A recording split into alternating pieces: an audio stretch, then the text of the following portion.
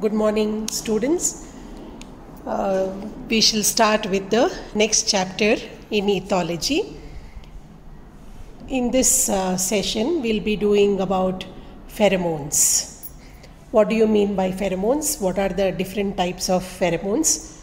And uh, you can see examples in insects and vertebrates which secrete pheromones. What are pheromones? In the year 1975, Novak described them as chemical messengers. These pheromones are chemical substances which are released into the external environment.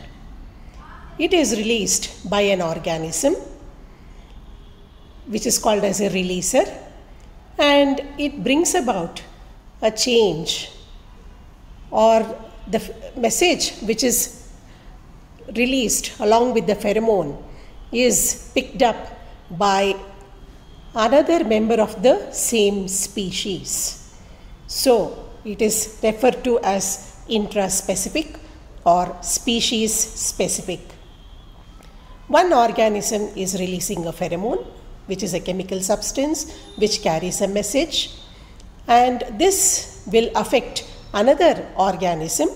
When you say it affects another organism, it brings about change either in the behavior of the second one or in the process of development or in the process of reproduction. So, one is releasing the chemical substance pheromone, which brings about change in the other organism in its behavior or development or reproduction. So, when we say the pheromone is giving out some message, what message is that uh, chemical giving or passing on to another member? It provides information like the sex of the organism which is releasing the pheromone, whether it's a male or a female, or it can also uh, give information about the reproductive status of the individual, whether it is reproductively mature or not. Now, all of you know about hormones. Hormones are also called as chemical messengers, but hormones are released inside the body and it brings about some change within the same organism.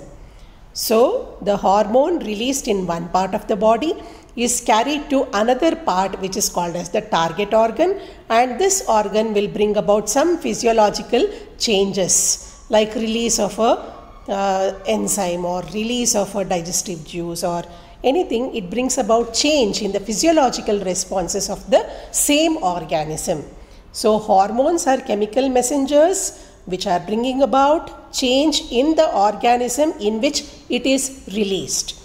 Whereas pheromones are released into the external environment and it brings, and it brings about change in another organism. So the pheromones are released by exocrine glands. They have duct. So along with the duct, the secretions will be released in the year 1959, Karlson and Lüscher described about the pheromones.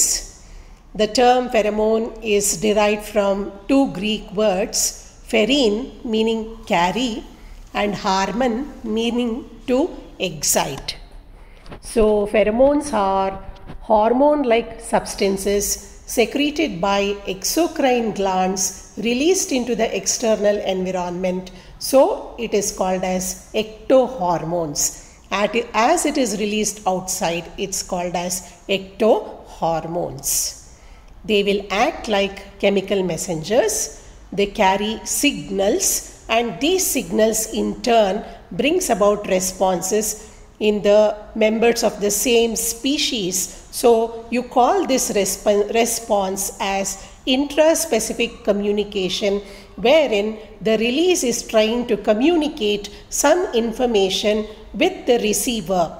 So, the one which is releasing the pheromone is the releaser, and the one in which it brings about change is the receiver. So there is a communication between the releaser and the receiver which we call it as intraspecific communication. There are different types of chemicals which act as signals. So let us say there is a chemical which is bringing about um, a communication between two different species. So earlier we spoke about the chemicals which is bringing about change within the same species that is intraspecific or conspecific. Here we are talking about chemicals which are bringing about changes or responses in two different species then it is called as interspecific. So there are certain chemicals which are capable of bringing about changes between two different species. So the first type of such a chemical is called as allomone. In this type, the there is a organism which is emitting. So the emitter which is releasing the pheromone is benefited. So the pheromone is favoring the emitter. So let us say there is an organism.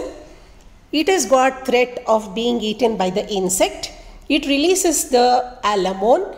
This allomone will act as a repellent of the insect. So it is protected by being eaten up by the insect.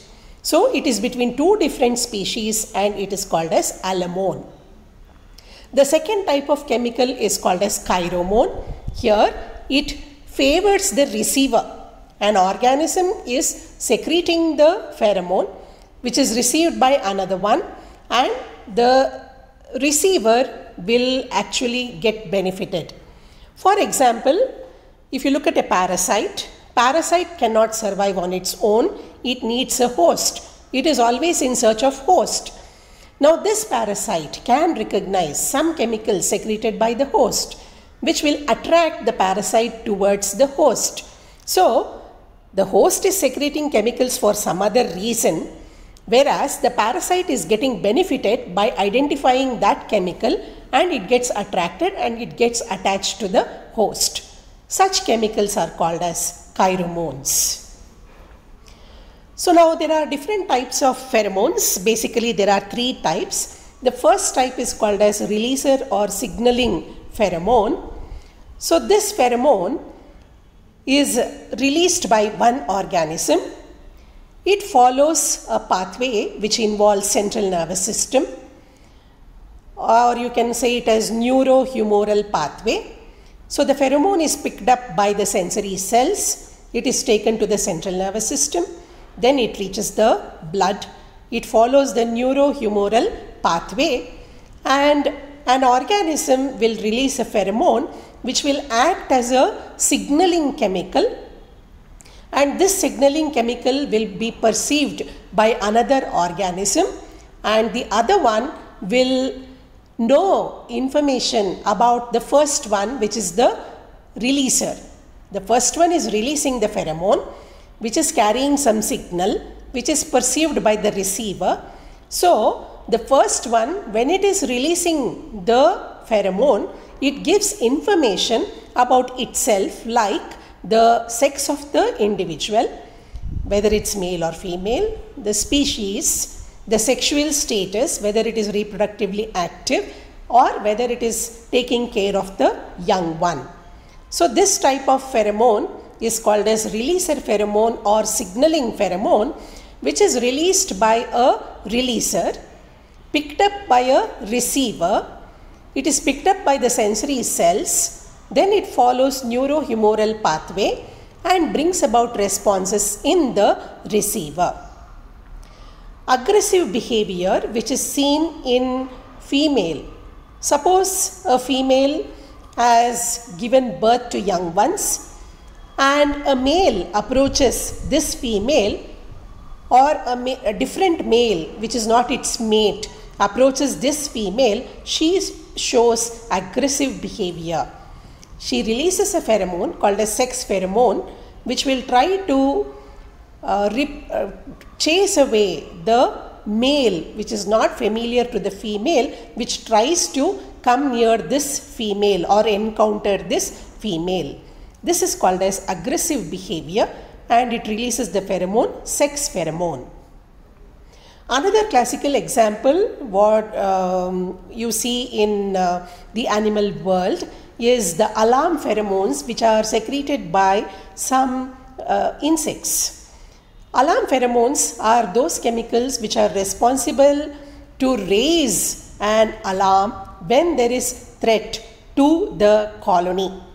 It is seen especially in those insects which have got social life where they live in colonies.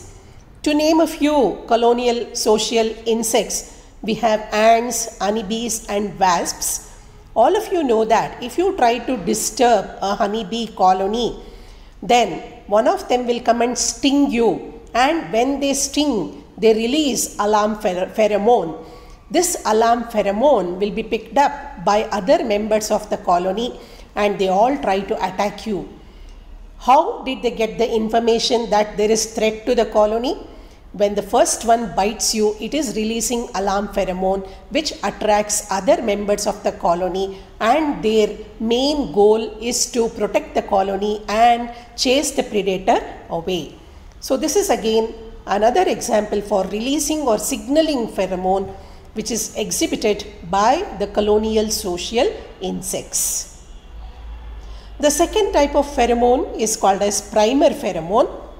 Unlike the first one, the second, the first one releaser pheromone, the second one is the primer pheromone.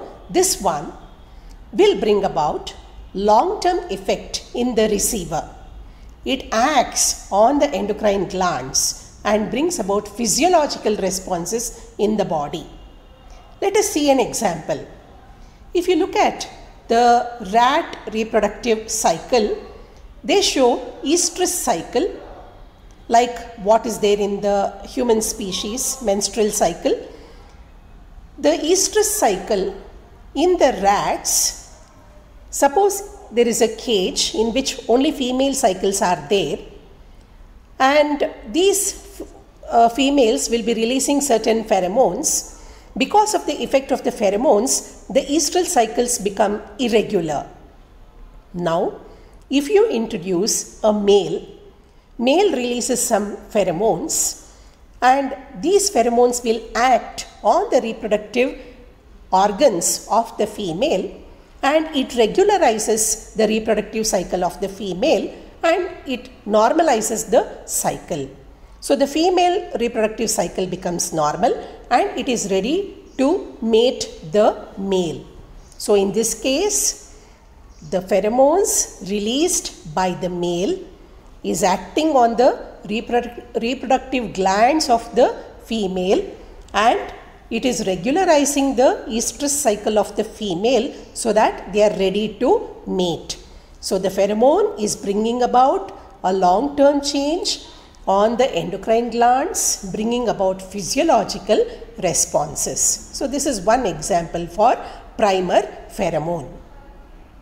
There was another experiment conducted by a scientist, Bruce, which is called as Bruce effect. In this experiment, when a female rat which is pregnant, which is being kept in a cage now you remove the male which was responsible to for the pregnancy of this female, you remove that male and introduce a new male into the cage. When a new male was introduced into the cage, then what happened to this female? She induced abortion and she aborted the developing pups. After abortion, she was ready to mate the new male.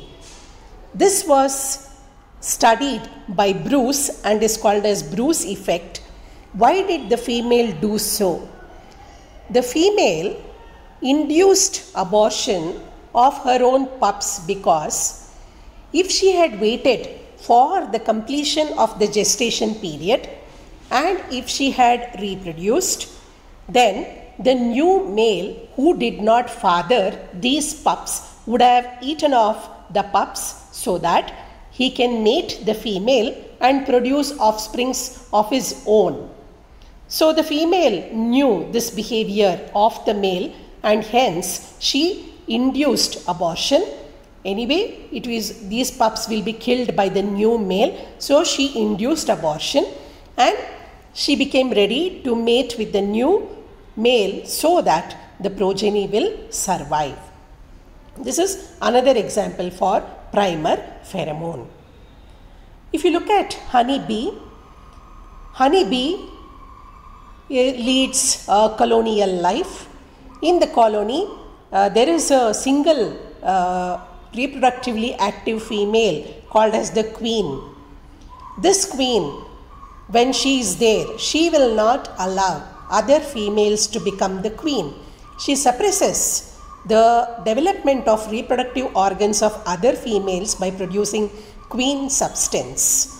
This is a pheromone which is released by the queen bee called as queen substance which suppresses the development of the reproductive organs of other female members of the colony.